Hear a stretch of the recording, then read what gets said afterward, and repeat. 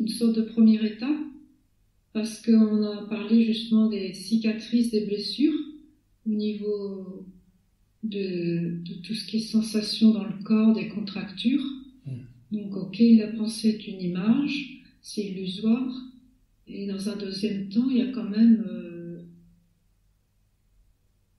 toutes ces contractions que ces pensées ont imprimées dans le corps. Oui, des, des, des densités. Oui. Hein, donc, euh, effectivement, c'est aussi une voie d'approche que de se mettre à l'écoute de ces densités sans les nommer, sans les rattacher à une histoire, mais vraiment rester à leur écoute. Oui, c'est déjà un, gros travail de, euh, comme vous dites, de ne pas écouter l'histoire déjà, ouais. De déscotcher, se décoller de l'histoire donc qui perd son, déjà son attraction, mais c'est vrai que c'est une première étape, mais après c'est toutes ces voilà toutes ces densités dans le corps qui qui demandent à être accueillies. Oui, parce que finalement, même quand on dit euh, je suis triste ou qu'on on se sent triste, en vérité, c'est notre mental qui va mettre une étiquette, construire un concept, une étiquette à partir d'une sensation. Et quelle est donc cette sensation qui est là avant que notre mental ne, ne lui colle cette idée-là? Est-ce qu'on peut explorer la sensation qui précède la pensée?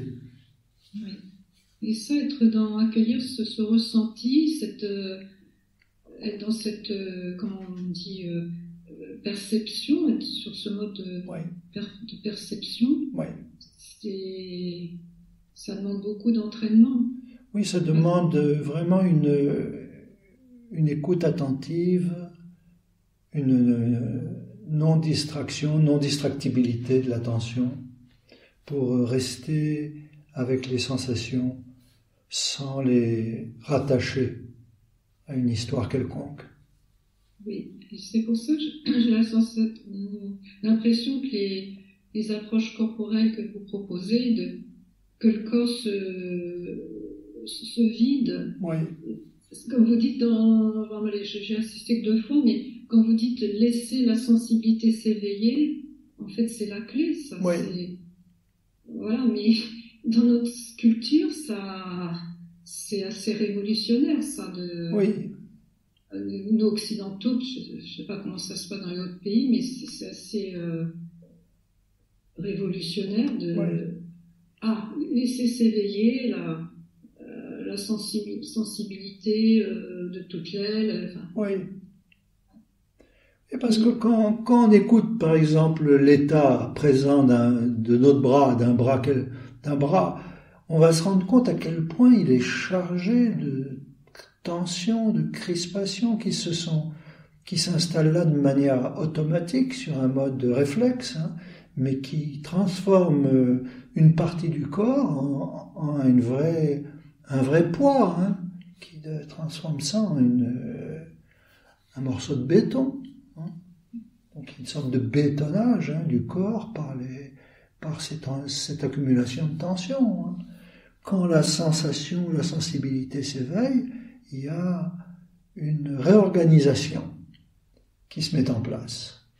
Parce que ce corps pesant, dense et contracté, il a perdu sa, sa substance, il a perdu sa, il a perdu son âme.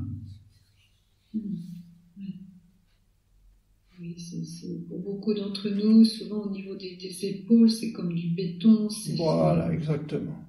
C'est, une sorte de confiance dans l'enseignement que plus on sera à l'écoute, plus il y a possibilité que ça s'ouvre, que ça respire plus beau. Quoi. Et puis on, le, on peut le, le vérifier, hein. on peut vérifier que dès qu'on laisse s'éveiller la sensibilité d'une région du corps, on contemple, on assiste à une harmonisation, une réorganisation de la structure. Hein. Ça, c'est des choses qu'on peut on peut toucher euh, par soi-même, hein, et pour, comprendre comment ça se construit et ça se déconstruit. Oui, ça peut se reconstruire, mais moins fort. Oui, exactement. Ça perd à chaque fois de, de, de sa densité. Oui. Et c'est un, une étape incontournable, sinon on, on, se la raconte. Sinon, effectivement, on peut se raconter des histoires, mais le, la structure ne, ne traduit pas euh, dans, dans la réalité concrète, disons, ne traduit pas la compréhension. Donc il y a comme un décalage entre une compréhension qui s'est éveillée et une structure qui est à la traîne, comme un boulet. Oui, c'est ça, quand vous parlez que les enseignements, de transposer ça dans notre petit quotidien. Ouais, ouais. Ça, là, le, voilà, le corps, il, il a besoin d'être pris en compte à Ouais, 100%. Oui. Et parce que là, un corps chargé va engendrer toutes sortes de réactions dans les situations de la vie quotidienne. hein. parce que ça, parce que la- c'est c'est comme ça, hein, quand le, quand le corps est contracté, chargé, eh ben, euh, le vécu va être euh, déformé par tout- toutes ces charges, hein, par toutes ces densités, ces pesanteurs. hein. Donc notre manière d'appréhender le monde et de rentrer en relation avec les, les gens va être profondément affe- affectée. Oui, ça reste un peu comme une sorte de carapace. Oui, finalement. bien sûr. Oui, l'interaction avec les, les autres, entre guillemets. Oui. Merci, On-. On parlait l'autre jour avec euh, quelqu'un et on, parlait de la manière dont notre euh, dont s'est construit une gangue, on va dire, qui entoure le cœur, c'est-à-dire pour ne pas souffrir, pour euh, limiter les, réactions de souffrance.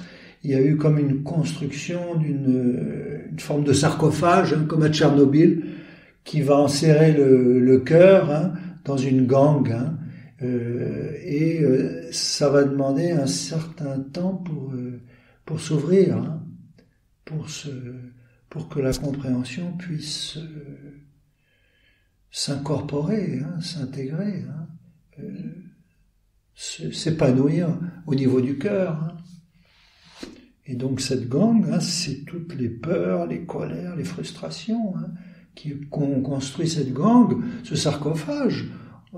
Ça a son utilité parce que ça, ça a évité une implosion, une autodestruction. Hein. C'était un, phénomène de protection, mais euh, ce qui protège euh, souvent euh, enchaîne hein, et devient ensuite une forme de chaîne